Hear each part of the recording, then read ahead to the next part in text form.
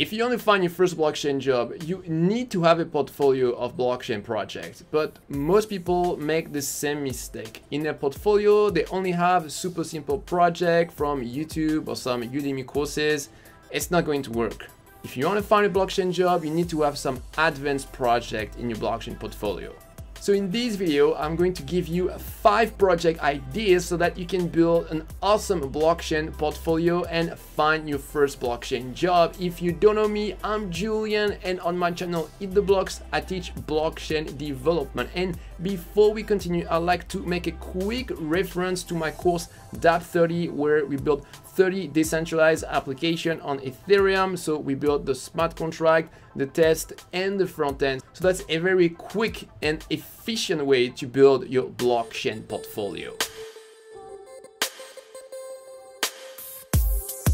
So the first project idea is a wallet. So a wallet allow you to spend your ether. So a wallet can be very simple if you just handle ether, but what we want is something a little bit more advanced. So one idea is to make the wallet able to handle ERC20 tokens. You'll have a list of all the ERC20 tokens that were configured and for each token you'll have the balance.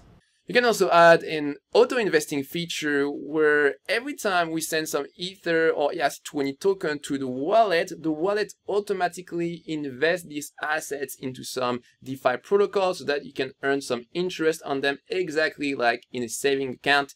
If you're interested in this, check my other video on Yearn Finance. And you can also add integration with other DeFi protocol like Compound, for example, that's what the Argent wallet does.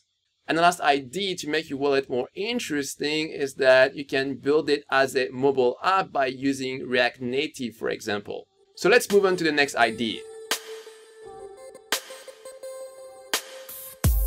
So the next project is a decentralized autonomous organization or just DAO. So DAO are smart contracts that allow you to manage the governance of any organization or entities. So in a DAO, you have participants who have tokens in a DAO, and with this token, you can vote to allocate the money that is inside the DAO, or you can vote to take any sort of decision that is relevant to the organization of the DAO. So for example, if this is a DAO of a DeFi project, you can vote for the evolution of the DeFi protocol.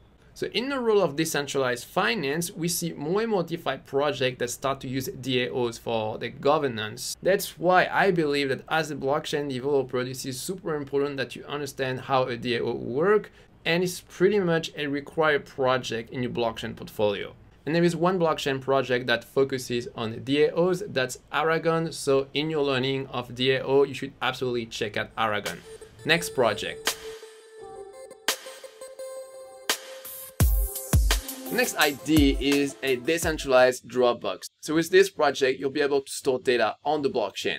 You can support different type of files like PDF, MP3, images, etc. So the big advantage of this is that nobody can censor your data. So the way it will work is that you will store the actual data like images or something that can take a lot of space. You will store this not on the blockchain, but you will store this on IPFS, which is a decentralized network for storage. And on the blockchain, you'll have a smart contract that stores some hashes that reference the data that is stored on IPFS. So that way you still benefit from the security of the blockchain, but at the same time, you don't spend too much money storing a lot of data on the blockchain. Okay, so let's move on to the next idea.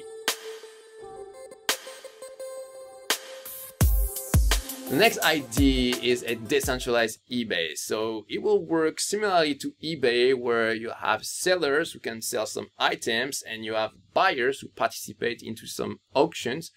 But instead of having the code on a centralized server, it will be in smart contract on the Ethereum blockchain. So buyers and sellers will be identified by addresses but if you want to make it more interesting, you can make an integration with Ethereum name services. So you will replace the Ethereum addresses by some human-friendly strings, very similar to URL. Okay, next idea. So the next idea, which is, I believe, the most interesting one, is a decentralized exchange. So with a decentralized exchange, you can buy or sell ERC20 tokens in a decentralized way through a smart contract on the blockchain. So you don't have any middleman, so nobody can censor your trade. Also, in terms of security, it's much better than a centralized exchange because all the logic is inside a smart contract, but there are no private keys, so it's much more difficult for hackers to steal the funds of the smart contract, provided there are no bugs in the smart contract, of course. So there are different possible designs for your decentralized exchanges, and if you want to learn more about this, I have another video on my channel that explains the different generation of decentralized exchanges. What's really cool with the decentralized exchange is that this is a DeFi project, and now blockchain on Ethereum, it's mainly about DeFi. So that's why I think this is a very relevant project. So if you want to have more ideas of blockchain project, you can check out the curriculum of my course DApp 30, where we build 30 decentralized applications on Ethereum, smart contract, test, and front end for each of them. And of course, after you've built so many projects, you are sure that your blockchain portfolio will be rock solid and it will be much easier to find your first blockchain job. And if you're not ready yet to build your blockchain portfolio, I recommend to start by learning Solidity, the programming language for Ethereum smart contract. And for that, check out my tutorial here on my channel. I'll see you there.